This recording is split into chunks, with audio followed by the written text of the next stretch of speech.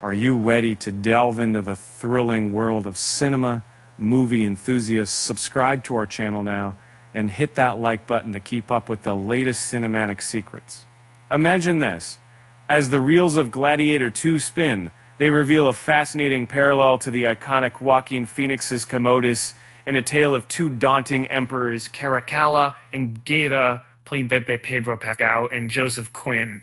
Lawyers may argue, but these new villains resemble a cocktail of history, myth, and the shadows inspired by Gary Oldman's character in The Fifth Element. Anything. Uh, both actors, guided by director Ridley Scott, ensure a fresh take on villainy, while honoring Phoenix's legacy. They uncover hidden depths, like the legendary founders Romulus and Remus, revisited in an age-old struggle for power.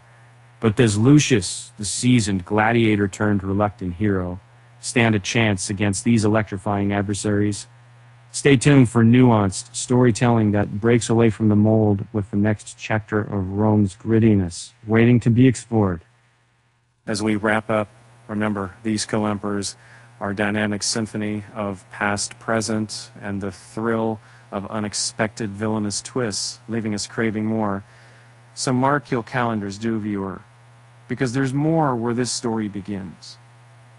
Till next time, immerse yourself in the cinematic clash of empires. With that said, thanks for watching.